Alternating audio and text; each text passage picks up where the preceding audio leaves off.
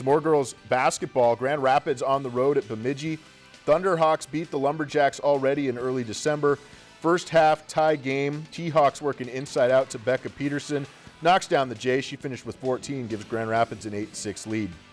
On the other end, Jack's plan to answer. Corner three from Josie LaValle is good. She had 10 on the evening. Bemidji up 9 to 8. Later, Thunderhawks on top by one. Jessica Lofstrom had the hot hand all night. Nothing but net. She led all scorers with 23, and Grand Rapids would snag a road win 59 47 over Bemidji. T Hawks have now won three in a row, and they sweep the season series with the Lumberjacks. Lakeland News is member supported content. Please consider supporting Lakeland News today.